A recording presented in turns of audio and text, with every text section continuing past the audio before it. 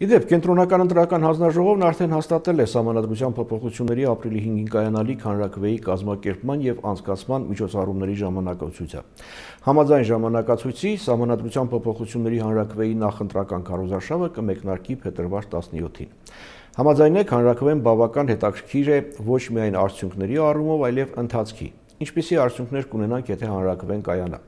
Քվեարկությանը կմասնակցի X թվով քաղաքացի, այդ քաղաքացիների ճնշող մեծամասնությունը այո կասի, այլ հարց է թե արդյոք մասնակիցների թիվը բավարար կլինի հանրակրվեն կայանցած համարելու համար։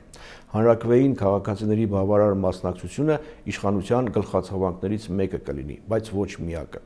Մյուս գլխացավանքը կապված է քարոզարշավի ընթացքի հետ։ Այս հարթության մեջ բազմաթիվ հարցեր են առաջանում, անդրադառնանք դրանցից մեկին։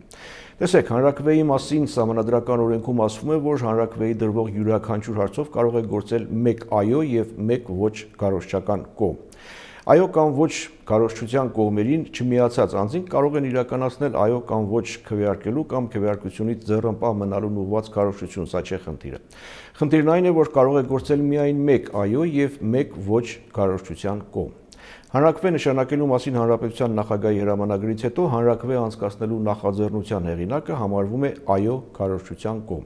Այստեղ ամեն ինչ པարզ է, խնդիր չկա։ Ինչը չի կարելի ասել ոչի դեպքում։ Բանն այն է, որ ոչ քարոշչության կողմ կարող են ձևավորել հանրակվե անցկացնելու մասին ազգային ժողովի որոշման նախագծին դեմ կամ ձեռնպակ քվեարկած падգամավորները մեր խորհրդարանում ԲՀԿ-ն ընդհանրապես չի մասնակցել քվեարկությանը, իսկ դրան դեմ քվեարկած Լուսավոր Հայաստանը արդեն հայտարարել է, որ չի մասնակցելու ոչի քարոզարշավին, քանի որ գործընթացը համարում է անօրինական, քաղաքական լեզվով ասած ոչ լեգիտիմ։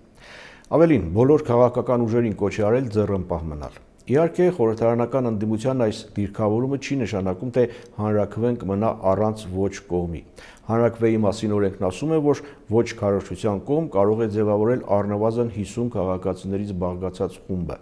Այդ 50 հոգին հաստատ կգտնվեն, բայց համաձայնեք, որ այդ դեպքում չի կարելի խոսել հանրակրվեի մրցակցային լինելու մասին անկախ այն բանից նրանք իրավագիտակից քաղաքացի են թե անգրագետ Պողոս։ Ստացվում է, որ սպիտակներին այսօր օդ ու ջրի պես պետք են սևերը, լինեն նրանք քաղաքական գործիչներ, իրավաբաններ կամ իրավապաշտպաններ, գործընթացը բնականon հունով տանելու համար։ Գնդակը սևերի դաշտում է։ Լավ մնացեք։